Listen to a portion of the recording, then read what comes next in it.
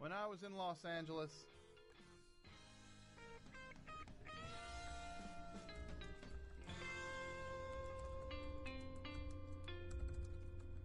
I had the uh, pleasure of uh, seeing, that's right, Jimmy Webb live in concert at Largo. Jimmy Webb, the master songwriter, the man who wrote Up, Up, and Away, Wichita Lineman, Galveston, By the Time I Get to Phoenix. So many great songs.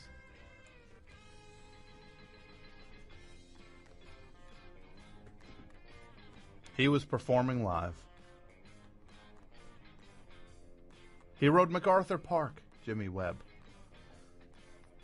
So I go to uh, the, the the Largo last week. It was this time last week. I was there.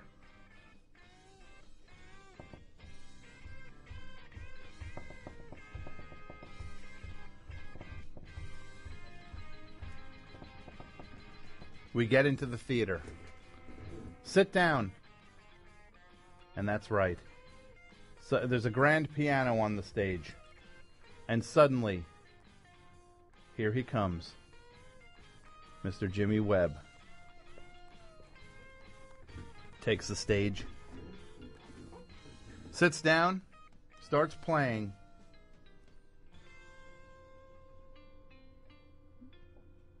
His hit song Highwayman, which he had written for uh, Johnny Cash and Merle Haggard. Was that what it was, Mike?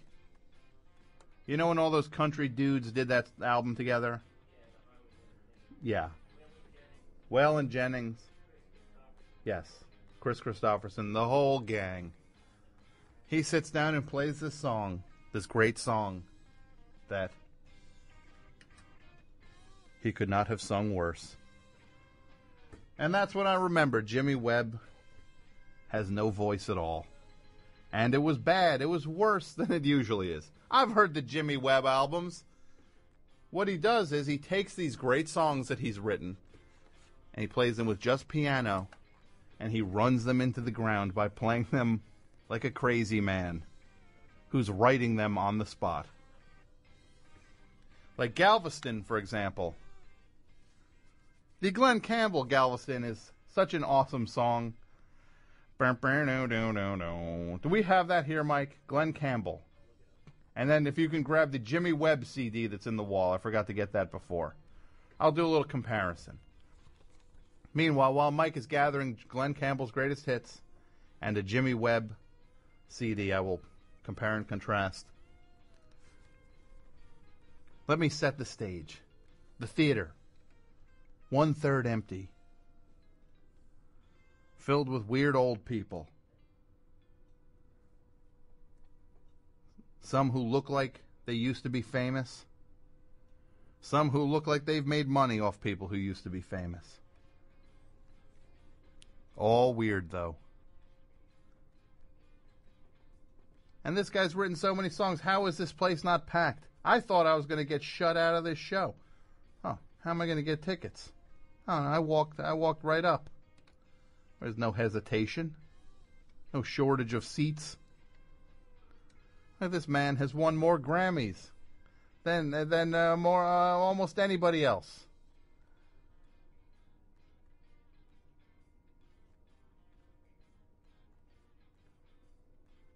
Yet the theater is one third empty. At least one third.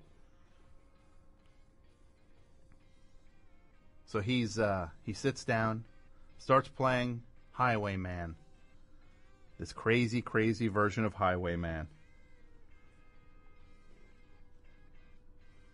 As if molasses had been poured upon him, and he could only play at a snail's pace.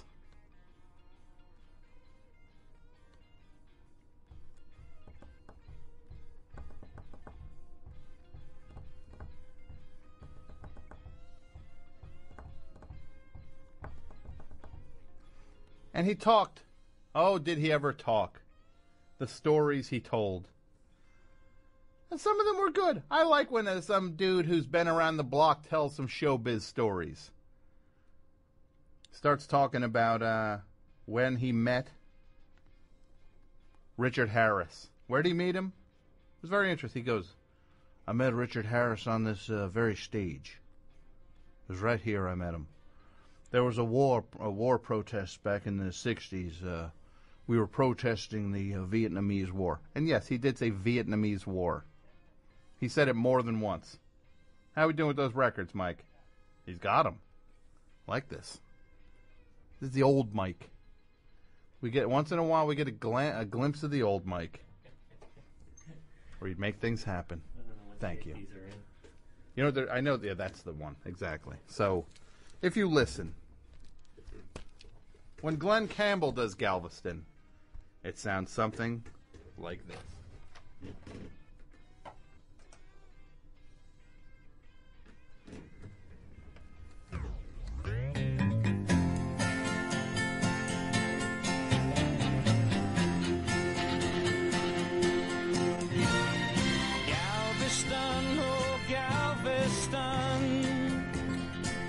Still hear your sea winds blowing. I still see her dark eyes glowing. She was 21 when I left Galveston. Galveston, oh Galveston. That's right. Still hear your sea waves crashing while I watch the cannons flashing. I clean my gun and dream of Galveston. That's right. But now when Jimmy Webb plays his own song, Galveston, it sounds like this.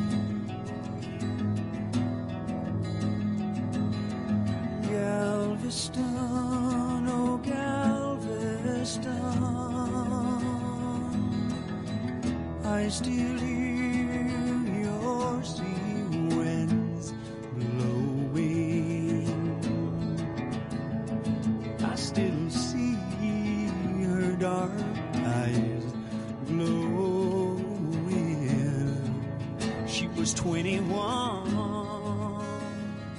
when I left Galveston. All right. Now just realize this version you're hearing compared to what I saw, this is the punk rock version, the fast version of Galveston. Oh, he took his sweet time getting through. This, sounds like the, uh, the, the the the Reader's Digest version of Galveston. He kept playing on and on on that piano. And the singing he's doing on this one, so much better than what he was doing live. And he admitted, "Eh, I got no voice. But the thing is, he never had no voice. Comes out there, he's like, Galveston. Ooh, and he was like, bing, boom, boom. Like he would play these notes on the piano, like these fills, just trying to like fill it in. It's like, just cool out, dude. Cool out. He would hit a bad note, and he would try to, like, he kept leaning back in his chair, trying to like force these notes.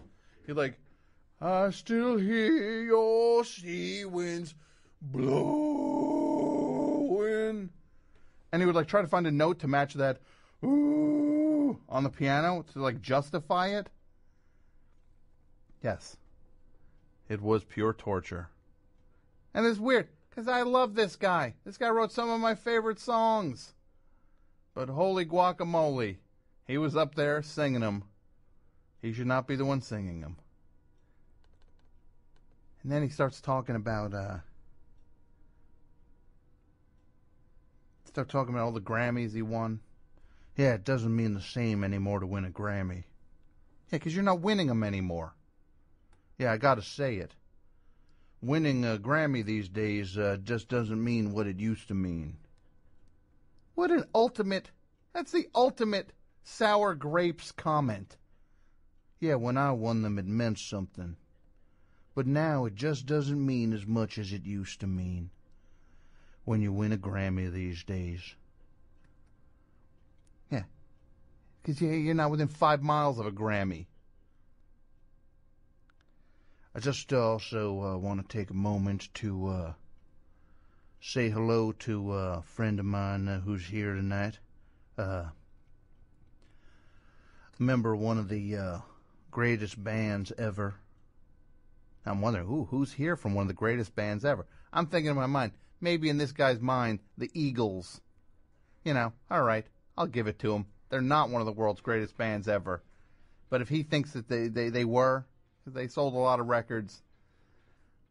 Who who's who's here from the Eagles tonight? Maybe uh, one of the greatest bands ever, America. Got a friend of mine, Gerry Beckley's here tonight. And in this dark theater, he goes, uh, "You here tonight, Jerry?" And in the back of the theater, "I'm here. I'm here, Jimmy." Is, uh, did uh, Dewey make it out with you tonight? The other guy from America. Yeah, he, he didn't make it tonight. He's having this conversation from the stage. Uh, these guys, I don't know how they do it. They play uh, 360 uh, shows a year. Uh, America. Uh, they got this T-shirt for their new uh, thing, their new tour. It's a T-shirt that says, "At least we are what we say we are," like or something like that. This guy's on stage. Just, just remember, we're waiting for him to play music. But actually, after I realized how bad it was going to be, I didn't mind the T-shirt talk from the stage. But he's describing a T-shirt that a, the guy from America came up with for his new tour. Got another person here tonight. Uh, I consider a, a sister. Uh, Linda Ronstadt's here tonight. So, ooh, Linda Ronstadt's here. Maybe she can go on stage and sing some of these songs. Then he plays one of the worst songs I've ever heard. Some song about a man and a woman, like, a woman is elegant, a, a guy is uh, filthy. You know, like, like one of those like kind of corny songs. Oh, it was the worst. It was like crazy. It was like literally like your weird dad getting on stage, like doing. It's like, yeah, dad's gonna play the piano. Oh, brother. Then it's like, uh, uh, dad, dad wrote these songs. Dad wrote up, up and away. And he kept turning to the crowd. He was like, uh, "Wouldn't you like to fly in my beautiful balloon?" He's like, "I'm going to ask you to give me some help on this next part." So we all sang "Up, Up and Away." And this is the thing: I'm making fun of it now. I'm in the theater. I'm literally feeling myself get ripped in half because I admire this guy so much, and he's just ruining it in front of me. Those Glen Campbell records are truly some of my favorite songs ever.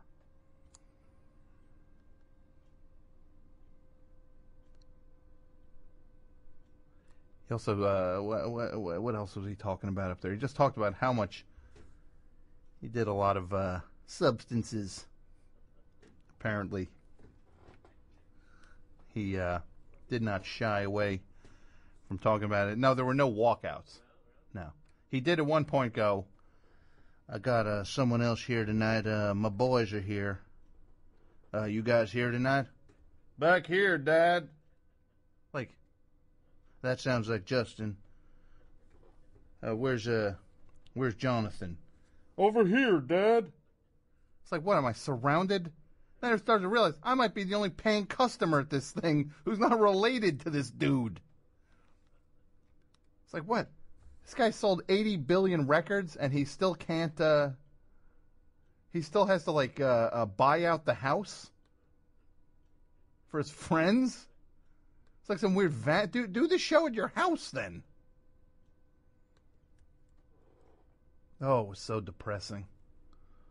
It doesn't mean the same to win a Grammy these days, I gotta say it. And this is the man responsible for one of the greatest records ever recorded. That's right. The ghost of Richard Harris should have uh, showed up and sang this song. His version of this was crazy. He did it a cappella for like two minutes. Spring was never waiting for us, girl. It ran one step ahead as we followed in the dance. This is one of the greatest lyrics ever written. Next. Between the parted pages and we're pressed in love's hot fevered iron like a striped pair of pants. That's right. Between the parted pages and we're pressed in love's hot fevered iron like a striped pair of pants. Laugh all you want because the chorus to this song is one of my favorites.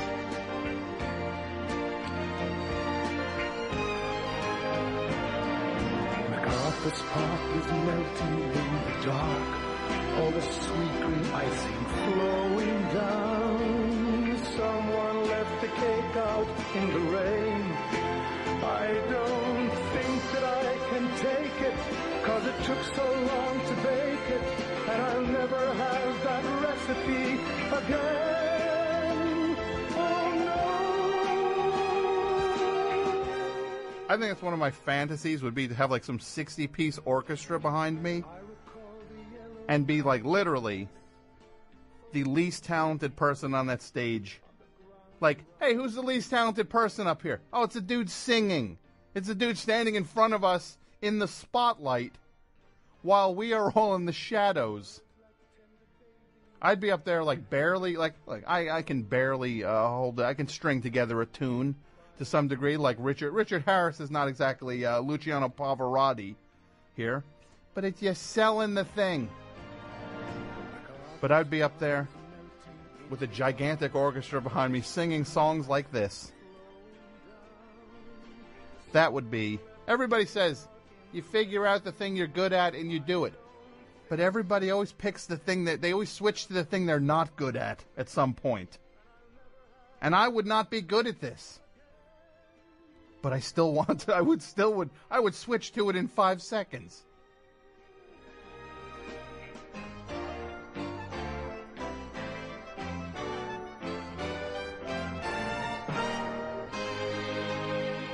What call is this, Mike?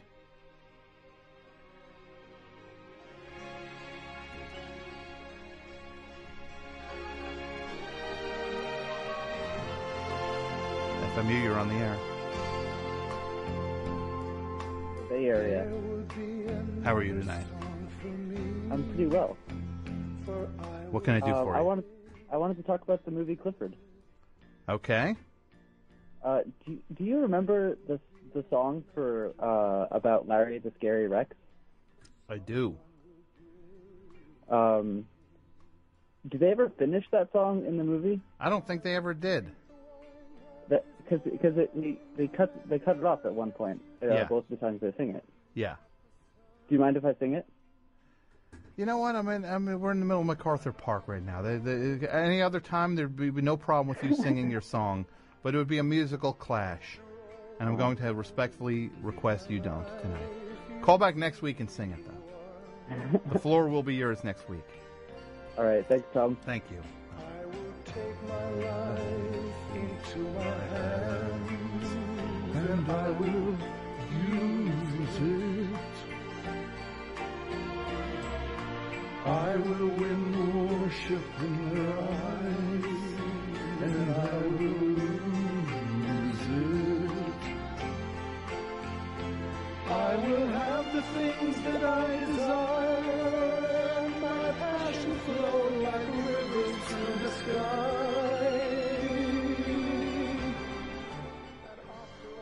FMU, you're on the air. Hey, Tom. Yeah. It's Allie. I I want to. I'm really sorry about about what I said a few weeks ago. What did you It- say a few weeks? Oh, you're I- that loudmouth. I, I, remember I was you. out of line. Yeah, you're that loudmouth who with the uh, who wanted the Smashing Pumpkins tattoo. Did you get it? No, What did you get? A, a Seven Mary Three tattoo instead? no. I got my, I got a septum piercing. Okay. I figure it's not permanent and cheaper. Sure. Yeah. A wise choice. A wise choice. hmm So, uh, wha- oh, yeah, yeah. You called last week. You you, you said because I didn't like guns, I was uh, like, uh, you said I was a shadow of a man. I didn't mean that. I was I was joking. I'm not very good at that. At being Usually, entertaining. I'm the only one that laughs at Uh-huh. my jokes. Yeah. So You know what though? Look, you didn't you send me something on uh, on uh, Twitter or something? yes. Yeah. And what what what? Did, tell her. Why don't you tell everybody uh, what your picture is on Twitter, so everybody can just uh, measure the kind of person you seem like. First of all, I meant it to be avant-garde. Yeah, why don't you just give her? It's it's a, you're, it's a, this cr- this loudmouth is sitting on a toilet. Eve ho. Got no time for that. Yeah, uh, of course she's winning. Mike, Mike will Mike will follow anyone on Twitter. That's the other thing. That's the other. This guy right now saying uh, everyone ripped off Scott Walker. Richard Harris. Scott Walker ripped off Richard Harris.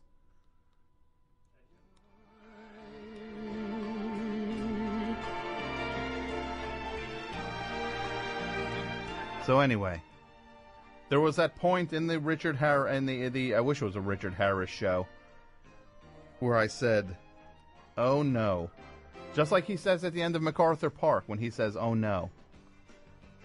I said, "Oh no, this is not going well." And for the next 25 minutes, the topic is, "Oh no." 201 209 9368. Did you get four? Uh, did, did people take the tickets, Mike? Two different people. One pair, if, uh, one other pair of tickets for the uh, uh, for t- uh, on uh, Thursday night. I'll give away for the uh, for the dance off over at Maxwell's.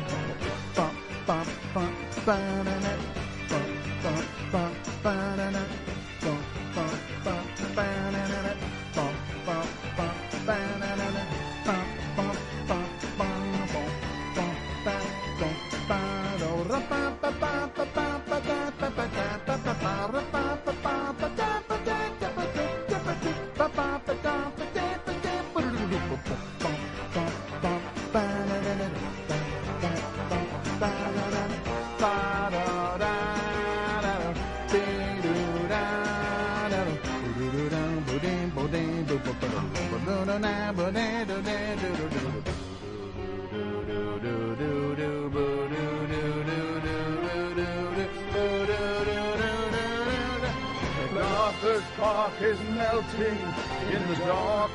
All the sweet green icing flowing down. Someone left the cake out in the rain. I don't think that I can take it, cause it took so